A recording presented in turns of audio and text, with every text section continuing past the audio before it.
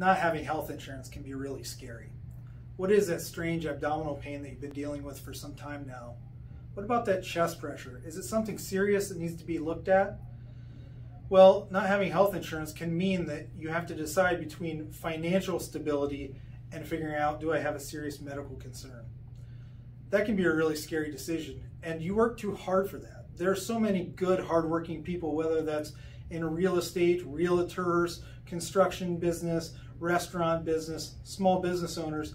A lot of times, insurance through healthcare companies or health insurance companies can be so exorbitantly expensive that even one month of membership to um, a health insurance or one month policy is the same price as an entire year here at Simplicity Health Direct Primary Care. So we're hoping to change all of that. If you don't have insurance, this is the perfect place for you.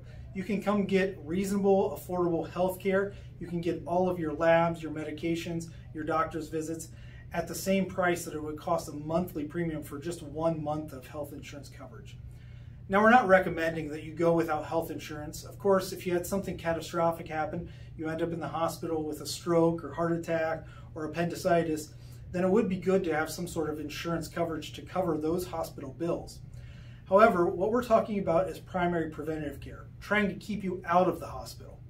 So here at Simplicity Health Direct Primary Care, we do all of our lab work. We have a full pharmacy where we can dispense medications often at a fraction of the price of retail. So many of our patients, even those that have really great insurance, choose to come to Simplicity Health Direct Primary Care because we can even save them money even with their great insurance. So it doesn't have to be that you have to choose between financial health and your physical health. Here at Simplicity Health Direct Primary Care, we're trying to change that. If you know somebody out there that is struggling with some sort of health condition or just needs regular preventive care, but they're too afraid to go see a doctor because they're afraid of how much testing or lab work or medication or doctor's bills, how much it will cost, I recommend that you point them in our direction here at Simplicity Health Direct Primary Care. We'd be happy to see them.